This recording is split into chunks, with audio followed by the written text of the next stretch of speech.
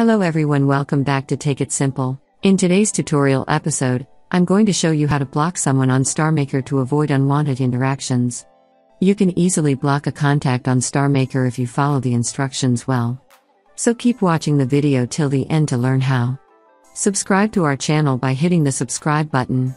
Press the bell icon so that YouTube will notify you whenever we post a new video.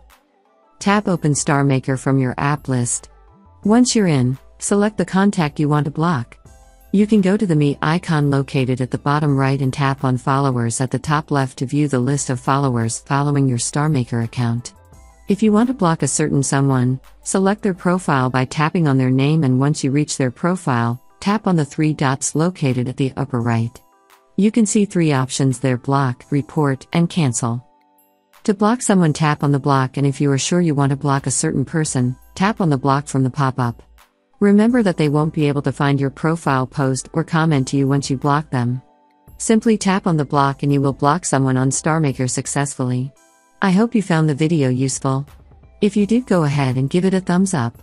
Feel free to comment down below in the comment box if you have a question or feedback. I'll be back soon with more tutorial episodes again. Thank you for watching.